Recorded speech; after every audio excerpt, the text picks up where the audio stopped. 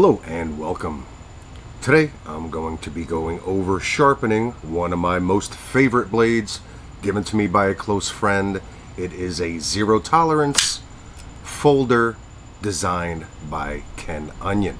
I'm going to be using my WE 66 which is the newest sharpener that I have picked up from Wicked Edge. Now something that I wanted to share with you because of the comments that I've gotten over the years while I've been sharing my reviews on the various Wicked Edge systems is the fact that before I had the Wicked Edge systems, I would sharpen my knives manually or use other gadgets that would really take off a lot of steel and it would worry me when it came to these more higher end knives especially the ones that were sentimental to me and valuable to me, not just in the price tag. And what would happen is I would have these knives and they would be more so on display.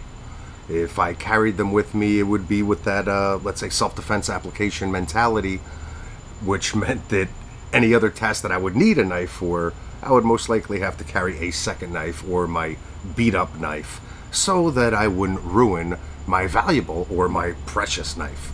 Once I started using the Wicked Edge systems, saw the way they worked, saw how precise that they are, it enabled me now to start using and enjoying in a different way my valuable blades. This zero tolerance folder is a perfect example of that. I had it for five years before I would touch it to anything. I was worried about losing that razor sharp edge, never being able to get it back, possibly have to send it back to the manufacturer to get sharpened and it was just something that I didn't want to go through. I would use other knives for daily tasks, and to be honest with you, never got to really fully enjoy these type of knives. It almost reminds me of uh, my grandmother's furniture.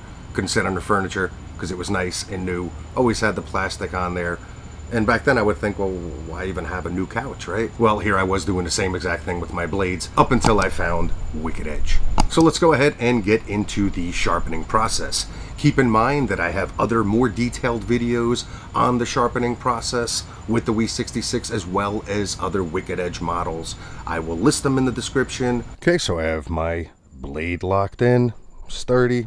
I have my thousand grit stones to begin with here just doing a few passes with each of these stones. And one thing that you always want to keep in mind is safety first. I want to make sure that my thumbs and fingers are out of the way. I'll start up high and just work my way down. This is a relatively short blade, so I'm able to get the whole blade on just one stroke.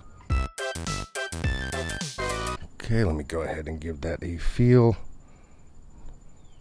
Nice and safe, okay. Okay, let's switch out the next higher grit stone and let's get started.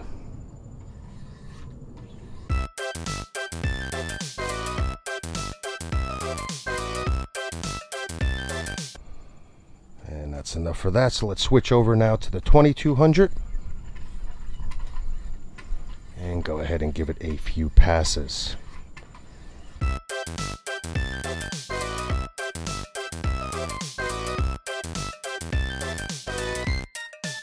Always being mindful that you have a very sharp blade here. Okay, and I have the 3000 grit stones that I'm going to finish off with now.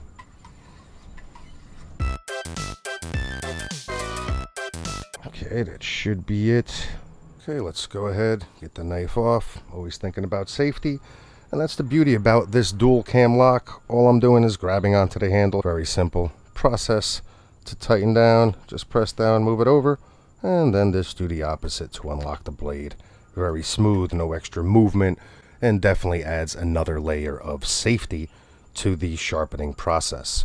So bottom line, if you are in the market for a sharpener that will keep your valuable blades valuable while giving you a razor edge on your blades every time, definitely take a look at Wicked Edge and specifically this WE 66 model.